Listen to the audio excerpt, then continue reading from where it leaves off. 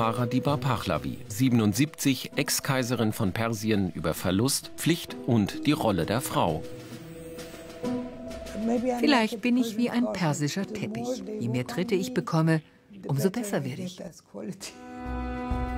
Wir treffen ihre kaiserliche Majestät, so auch heute noch die Anrede, in einer Kunstgalerie in Berlin. Hier werden ihre Bilder ausgestellt, Bilder, in denen sie die dunkelsten Momente ihres Lebens verarbeitet hat. Erster Eindruck, sie wirkt lebhaft, herzlich, bescheiden und prätentiös.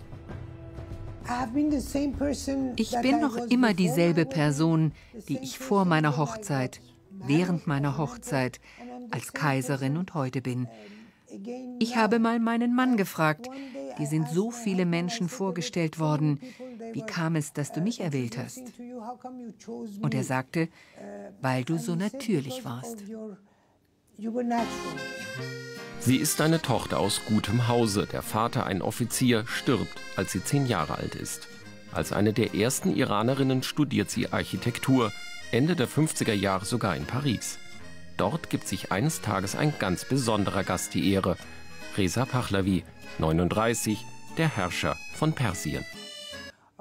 Ich sah ihn in Paris zum ersten Mal nah. Ich erinnere mich, ich schrieb meiner Mutter, ich war so glücklich und stolz, ihn zu sehen, seine Majestät ganz nahe.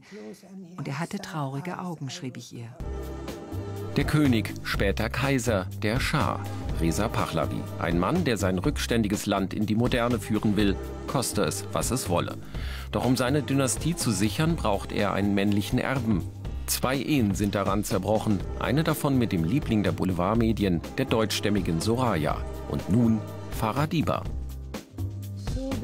Wir trafen uns immer wieder und eines Tages fragte er mich, ob ich ihn heiraten würde. Natürlich war das für mich eine große Ehre. Ich muss sagen, vorher war es die Zuneigung einer Untertanin zu ihrem König. Und nun wurde es die Liebe einer Frau zu einem Mann. 1959 eine Hochzeit wie aus 1000 und eine Nacht. Zwei Jahre später wird Thronfolger Cyrus Reza geboren. Zwei Jungen und ein Mädchen folgen.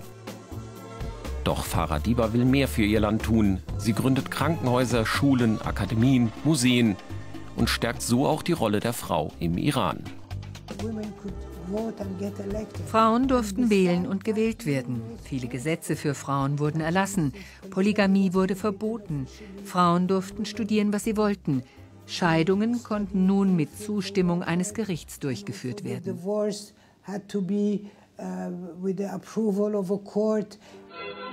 1967. Ihr Mann krönt Faradiba zu seiner Vizekönigin. Für die persische Gesellschaft ein radikaler Bruch.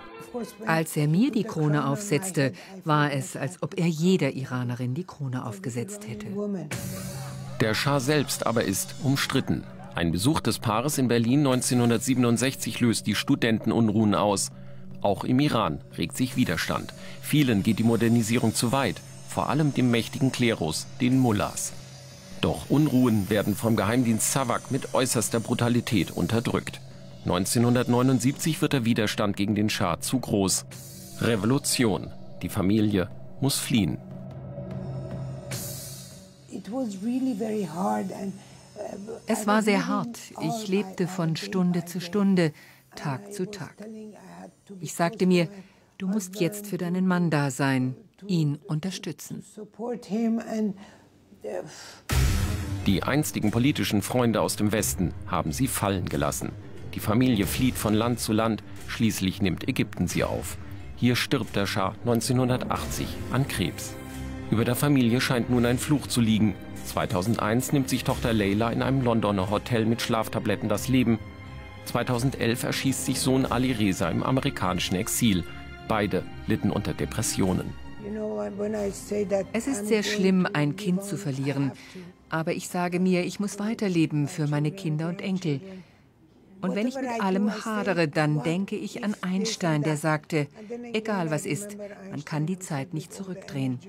Aber es ist das Härteste, was einer Mutter widerfahren kann. Um ihre Trauer zu verarbeiten, beginnt Faradiba nach dem Tod ihres Sohnes zu malen.